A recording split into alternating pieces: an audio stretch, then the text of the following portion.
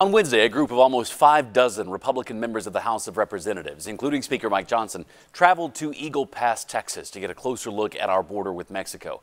Missouri Congressman Mark Alford was there as well. I spoke to him about the heavy emphasis Republicans are placing on border security in this presidential election year. We are not against immigration, legal immigration.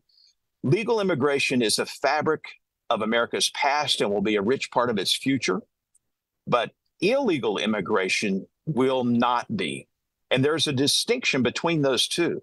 There are many people in the Kansas City area uh, who have come through the right way, who have sacrificed the time and the dedication and the money to earn their citizenship.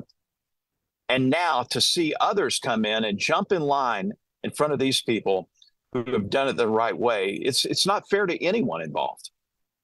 Those photos you saw there while he was speaking, were, he sent those to me yesterday from the border. With the presidential election less than a year away, immigration and border security will be a key issue. The Biden administration hitting back on this visit, and all this as a group of bipartisan senators are working to come to a deal on border funding themselves and include money for Israel and Ukraine.